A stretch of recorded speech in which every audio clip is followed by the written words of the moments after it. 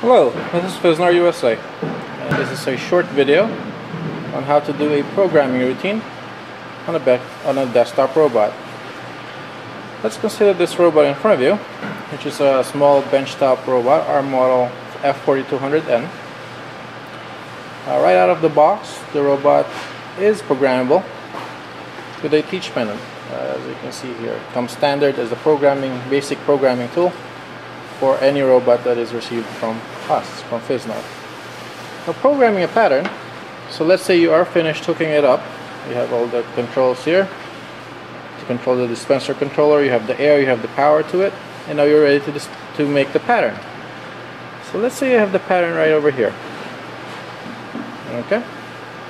It's a simple pattern, you have a straight line going from here to here, and then it arcs up, and then goes to the right and goes back down and goes to the left. And then some three dots over there. Okay? Well there's a basic tutorial on how to do this um, this routine this pattern. And hopefully you will know how to do it by the end of this tutorial. Okay?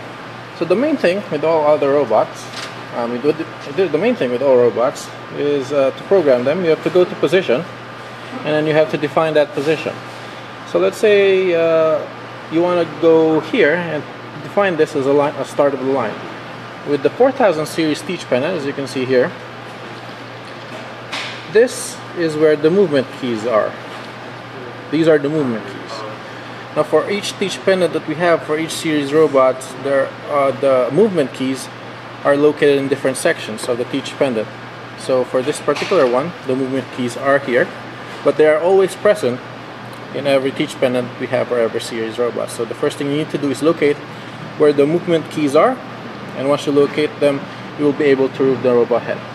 Okay, so as you can see here, if you wanna just look here real quick, because the shakin's there. Okay, so as you can see, if I move the X, you will see the table move as well. Okay all right. And th those are the movement keys. Now there are three speeds to it. The first one is the slow the second one is the medium and the third one is the fast. In order to do that there's a slow which is press the movement key. That is a slow. You will see the X moving uh, very very slowly. So I'm not sure if you can see it uh, during this video but it will move slowly. Alright and if you go and there's a medium speed wherein you press the movement key and the fast button in that order and that is the medium speed as you can see the table moving. Alright and then there's the fast speed wherein you press the fast first before the movement key. Okay? And those are the three speeds. And that is helpful to know that you have three speeds available in order to locate the, the point precisely within the, the pattern okay? So this is a three-axis machine. As you can see the movement keys has uh, space for three axes. You have the X the Y and the Z properly labeled. If it's a four axis you will have a W plus and W minus or an R plus or R minus depending on uh, the convention for the teach pendant but for our sake for our purposes uh, for this uh, video we uh, will be just be doing we will be focusing on the X Y and Z. Alright Okay, so as I've said before, in order to program the robot to a particular routine, you have to go to a position and then define that position. So let's say this is the screen of your teach pendant, you can see.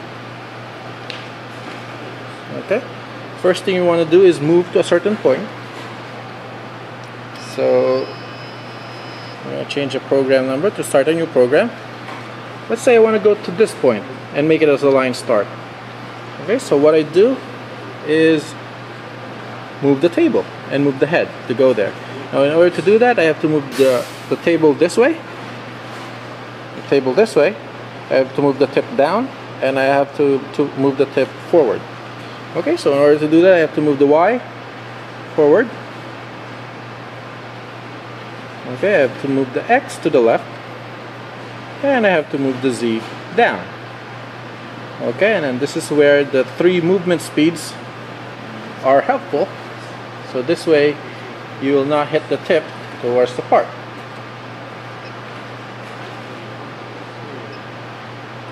Okay so let's say I'm there now. I'm at the line start. I'm gonna label that as a line start. In order to do that I press enter. And you will come up with the, the F1 menu or the point menu. The first thing that you should see there is a line start. Well the second one is a line start. So you scroll down using the movement keys as arrow keys. Okay, as you can see the asterisk there is the currently highlighted part. You press enter to select line start. So when you hear when you see the screen here, it automatically goes to the next line. But if you hit escape, you'll see that on the first line, you will see line start already programmed in there. And that is defined by that point that we moved into, and we define that as a line start. So that is the beginning on how to program the robot. Alright? Now for the views, uh, on the Teach panel you have two views. You have the list view, like what you see here, and what if you press escape, this button, you have a detail view. And that's what it is. Now the detail view shows what the actual, uh, what other parameters for that point are, the current location as well, as you can see there, and the current position of the point. So right now, the current position of the tip is the same as where we programmed it because we didn't move it yet. So that's where it is. Okay, so that is uh, for the line start. And then to scroll down the, the list, you have these two buttons here. Okay, and you can see it from here also, the address number. Okay, so for the screen, the address is the line address, which is uh, we are now number two. This is a program number, program number 28, and this is the current location of the tip okay with respect to the robot uh, drivers okay? All right so we have started with the line start and now we proceed with line, line passing okay? And the same way we do it we press the movement keys. So right now it's the same Y it's the same height the same Z. We only need to move the X this way or the tip that way. So we're moving the X this way to the left and uh, as you can see the tip going into line passing.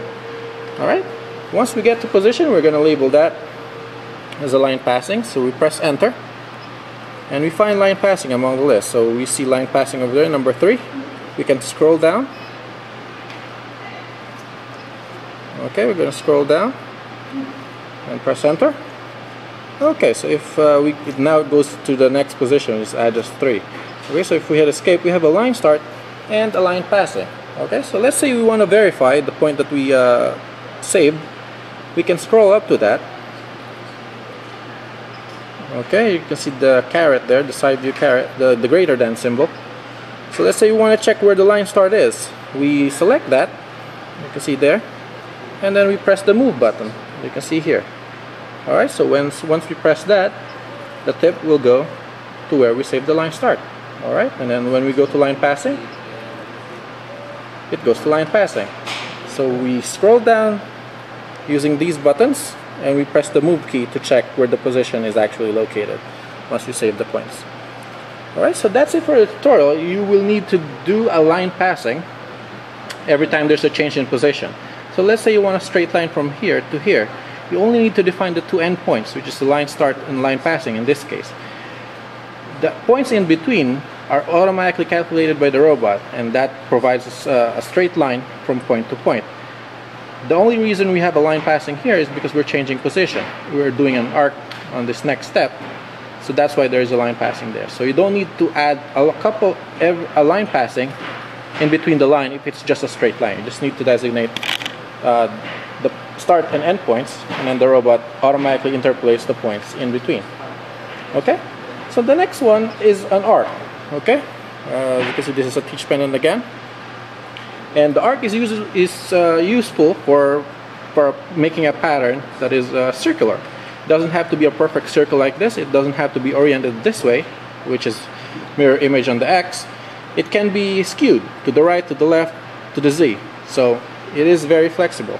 The only thing that you will need for an arc are two base points which is a, in this case is a line passing and the highest point of the arc, which is we will gonna label as an arc point. So as, as I've said again, uh, it doesn't have to be a perfect arc or a perfect half circle like this. An arc can be uh, an, an off arc, you know. Um, so you can have an arc point here and you can have an line passing at this point and that will still make the arc uh, as well okay so we're gonna move again to that arc position uh, you see that we are, I am moving the tip using the movement keys. And right now I am at the arc position as you can see there. And the same thing we press enter. The screen goes to point menu this is F1 menu. And we find arc point which is number 5 as you can see there. Go number 5 and we press enter. Alright so you can see we are on list view. You have three items there line start line passing arc point. And that is how you program it. Now the rest is pretty straightforward as I've said before the arc needs a line passing at the end and at the beginning so we will do another line passing here. And we're gonna continue it with the rectangular pattern line passing line passing and line end. As you can see there is no break in between these two parts. You have from this direction to this direction it's just a straight line so we only need to define these two points at the end. And we have three dots as well the same way of programming you go into position and you label it as a dispense dot. Dispense dot is under the point menu also. If you press enter dispense dot is number one. Okay? Now with these parameters, uh, with these functions, you have the line function and the arc, you can virtually do any pattern that you uh, need to do, uh, any combination of those. So this is these are the basic patterns, and um, once you get to know once you get to know them, uh, you will have a better understanding of how to do a very a complicated pattern going forward. Okay. All right. So I have already uh, programmed this uh, this pattern and I will show it to you okay so let's say you're done with the programming and you want to test how the program how you programmed it so you can run it why not right so we're gonna we're gonna run it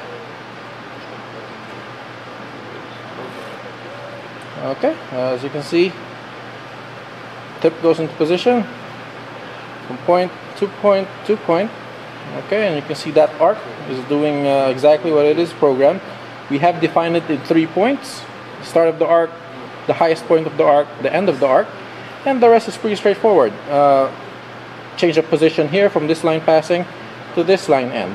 Okay and that is just a straight line as you can see over there. And then you have the dispense points. One two and then three. Okay so pretty straightforward. I'm gonna dispense I'm gonna turn the dispenser on and just dispense material just so you can see it. And here we go. Okay as you can see that is a blue material that we have. We are dispensing exactly as it is programmed. So making this pattern we had one two seven points to do the pattern of course if you have a more complicated part it will be a lot of points uh, in between them but that is the basic, and uh, from these basic points and definition of points, you will be able to generate your own pattern as needed. Okay? Okay, and then we have dots. Alright, there you go, and this is the pattern. As you can see, this pattern is actually also in the manual, so you can practice with that. And once you get the hang of it, it should be pretty straightforward. So again, just a recap, in order to move the robot, on the teach panel, there are movement keys, as you can see here. On the 4000 series robot, they're here. The main, the basic, basics of programming is you move to position and define it. In order to move it, you need the movement keys. Once you get once you get the robot to position, you define the position, and that's where you go to the point menu. You press enter, and you go to the point menu, which is the F1 menu, and all the points the point definitions are in there. You have the dispense dot, line start, line passing, circle, arc point, line end, and any combination of those will give you a pattern as as you need it. Okay. Alright, so that ends the tutorial for making a dispense pattern using the robot. The next step would be to add the parameters like delays, timers, and all of that, uh, and, or dummy points and all of that uh, to optimize the, the dispensed material. Okay? And that will be next in the tutorial. Hopefully uh, this is helpful for you. This is Fisnar USA. Thanks.